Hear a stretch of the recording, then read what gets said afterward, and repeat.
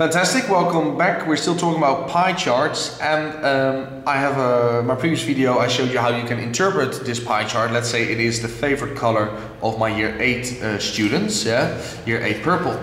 But uh, now we're going to find out, okay, so how many people actually like orange, how many people actually like uh, blue and all the other colors. So I have this key here and um, let's say that 10 or sorry yeah the 10 degrees is the green part yeah? So this angle is 10 degrees yeah? Sometimes you see the 10 degrees there but that's not going to fit for me and it's uh, not going to be visible for you on the on the camera that's why I have this key here on the side. But that's 10 degrees. 90 degrees has a perpendicular angle here for the blue well that makes sense. 170 for the orange yeah the most popular color clearly 45, 45. Yeah? So they are equally as popular, red and black. And I've asked, yeah, it's a fairly large class, my year 8 purple. I've asked 1,152 people in total what their favorite color is, and that's the resulting pie chart. But now the question then is, okay, so how many people actually like green? And how many people actually like blue? And for the rest, okay. And I'm gonna show you how to do that. I'm just briefly gonna take that one away uh, because we really don't need it. Because how many, well, okay, perhaps for one more second, how many degrees in total uh, do you have in a full turn, in a circle? How many degrees is that? That's 360, yeah, 360 degrees. And uh, the blue one is a particular part, there's a fraction of that full turn. Uh, so if I would start with the blue one, 90, uh, some of you already say, yeah, it's a quarter, yeah? But 90 degrees out of 360 is indeed a quarter. Okay, so a quarter of the amount of people like blue.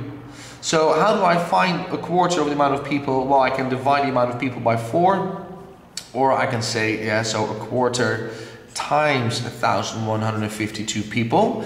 And if you work it out on your calculator or on the side somewhere, that is 288 people. So 288 people uh, like blue. Can, if I write that here, can, will that be good?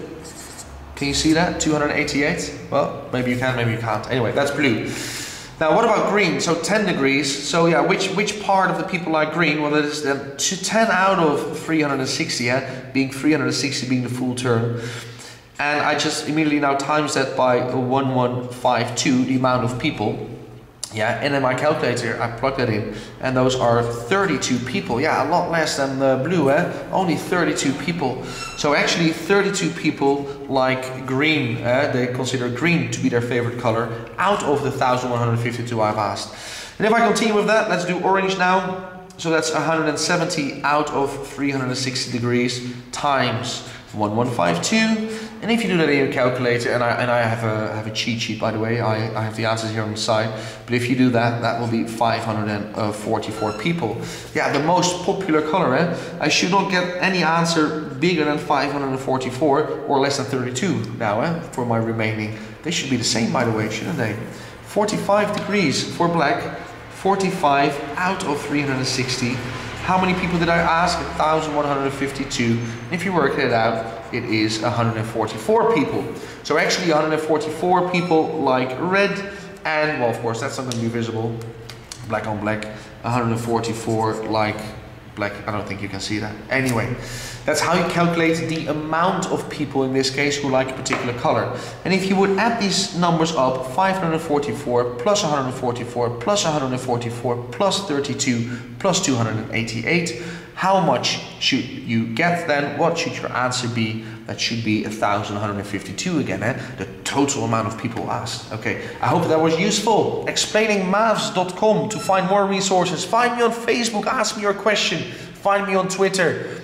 Um, yeah, like and share this video please if it was useful. That was it. Guys, I'll see you later. Bye bye.